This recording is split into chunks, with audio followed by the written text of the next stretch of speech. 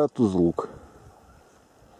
У древних это была священная гора, где они поклонялись солнцу. Наверху должны быть алтари, алтарь, где те э, жрецы, которые жили на Сирхе, они спускались сюда на Тузлук и здесь делали жертвоприношения богам солнца. Высота этой горы чуть выше 2000 метров. Более точное описание дам в сопроводительном письме, письме к видео. Сейчас она слегка в тумане. Погода не совсем летная. Минут через 40 я думаю, я доберусь до нее, а еще минут через 30-40 я буду на ее вершине где мы проведем замеры и посмотрим, что там с древних времен интересного осталось.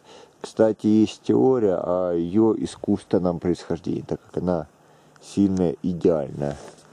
Такая кавказская пирамида еще по-другому называют. Конец записи. Вот она, вершина горы Тузлук.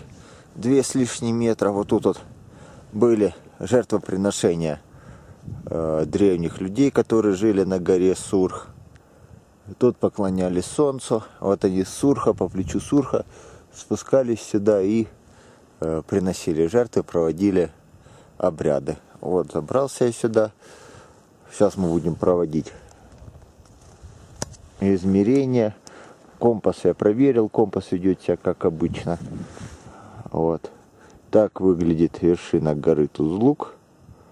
Э, по поводу того, что она рукотворная. Вот.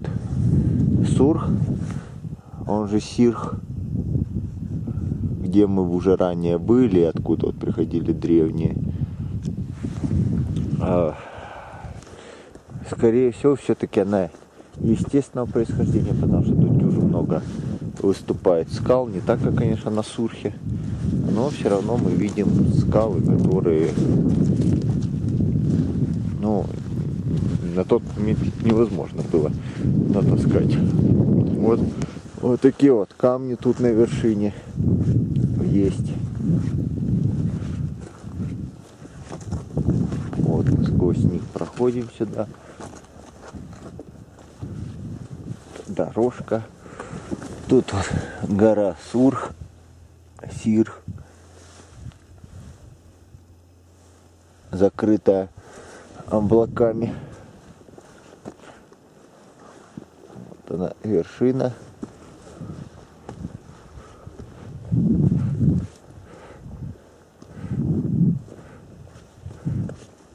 Две с лишним метров с небольшим. Так, надо, встаем. Мой любимый приборчик. Сейчас, кстати, не должно отсвечивать.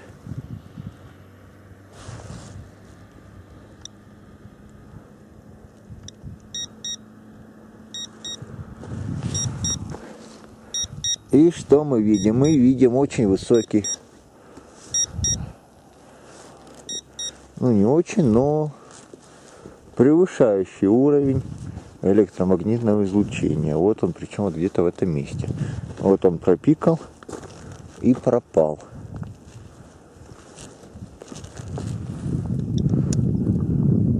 Сейчас мы попытаемся детализировать. О,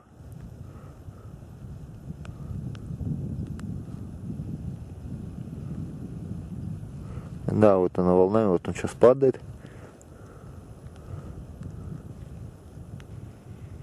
Растет, падает.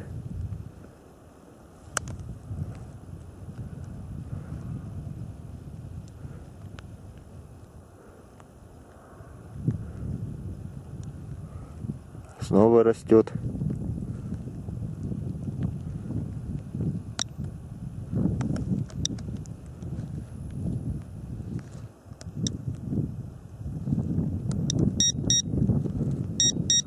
Вот когда на особо маленькую чувствительность ставишь калибровки.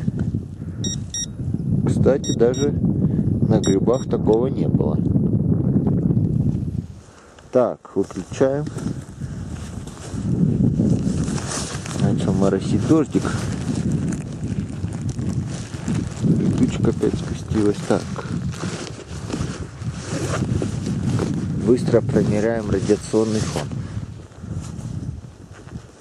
В быстром темпе.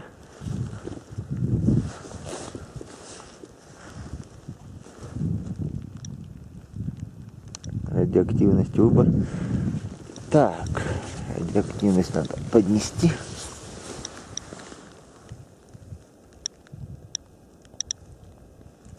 Для этих мест радиоактивность в норме.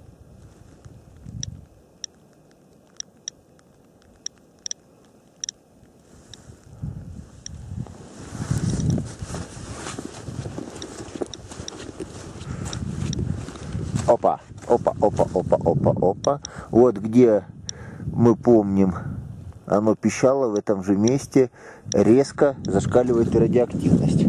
Ну, нельзя сказать, что зашкаливает. Вот мы отходим, отходим, отходим, отходим, отходим.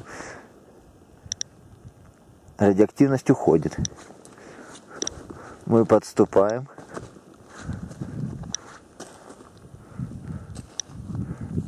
Идем снова на эту точку.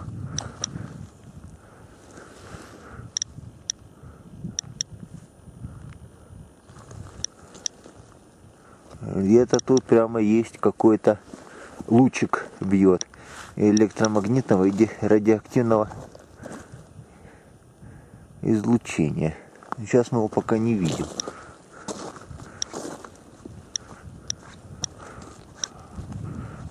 Может с какой-то он периодичностью.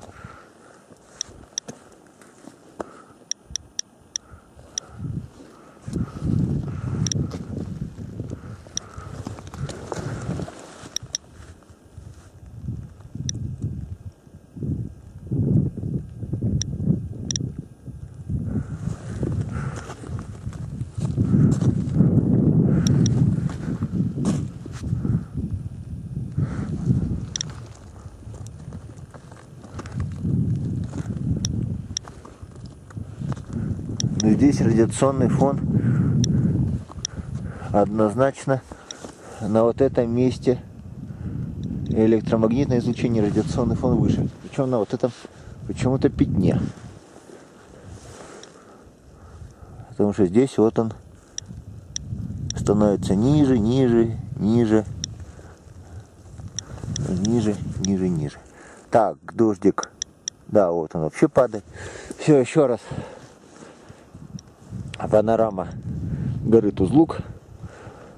Пожалуй, одно из немногих реально аномальных мест, которые мы тут обнаружили в предбрусье, за исключением грибов. На грибах тоже, на грибах тоже есть электромагнитные возмущения, но не в таких, конечно, размерах. А тут прямо все ярко читается, очень ярко вспышки, как радиационные, так и электромагнитные.